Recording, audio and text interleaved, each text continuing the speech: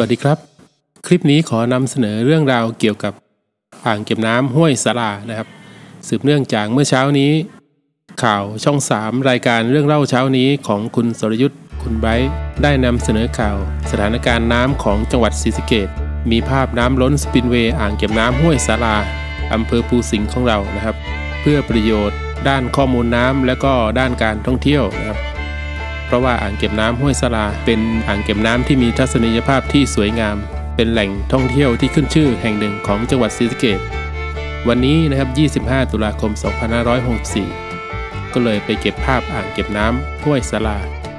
มานำเสนอให้ท่านได้รับชมกันนะครับ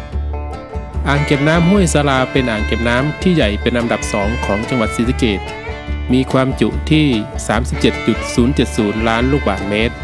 ส่วนอันดับหนึ่งก็คืออ่างเก็บน้ำห้วยตะมายอำเภอกันทรักจังหวัดศรีสะเกษมีความจุ 37.290 ล้านลูกบาศก์เมตร ซึ่งน้ำจากอ่างเก็บน้ำห้วยสลาว วันนี้ก็ยังล้นสปินเวย์ในระดับที่ไม่สูงนะครับ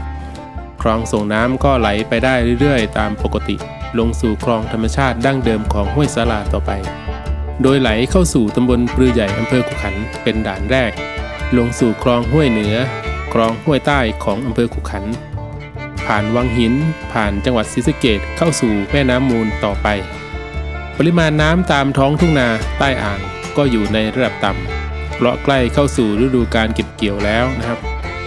น้ำไม่ได้ท่วมข้าวแต่อย่างใดในช่วงนี้นะครับ หากฝนไม่ตกลงมาอีก ข้าวเริ่มออกรวง แล้วก็ต้นข้าวก็ไม่ต้องการน้ำมากนัก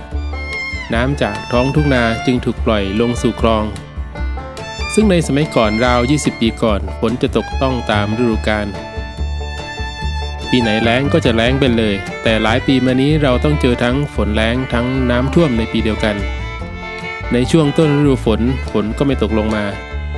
จนข้าวกล้าแห้ง ชาวนาต้องตัดต้นข้าว เพื่อให้ข้าวงอกขึ้นมาใหม่ แต่พอน้ำมาก็มาช่วงในปลายฤดูฝนจนท่วมทุ่งนา ท่วมต้นข้าว ซึ่งปกติ 20 ปีก่อนหลังจากปักดำเสร็จทำนาเสร็จก่อนเข้าพรรษา ก็จะเป็นช่วงที่ใส่เบ็ดหาปูหาปลากัน พอถึงช่วงปลายฤดูฝนก็เริ่มหาปลาขอนตามท้องทุ่งนา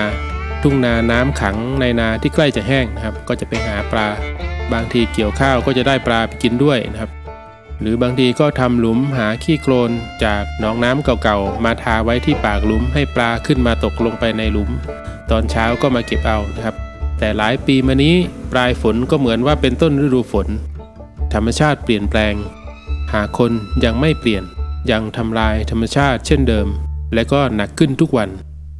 ขอบคุณทุกท่านที่รับชมมีความสุขทุกท่าน สวัสดีครับ